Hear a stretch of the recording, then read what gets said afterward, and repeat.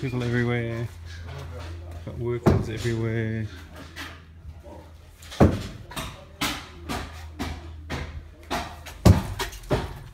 Bathrooms being sledgehammered. Some of them are staying overnight. Still happening. This is the other bathroom. But um,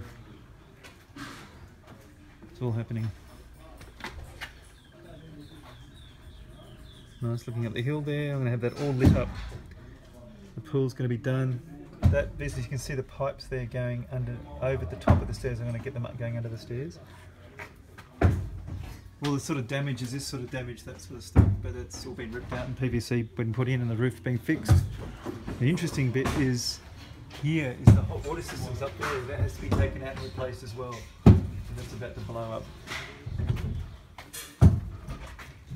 Here's the um, it's the laundry dude isn't there doing that. So there's a whole lot of people in here doing stuff at the moment.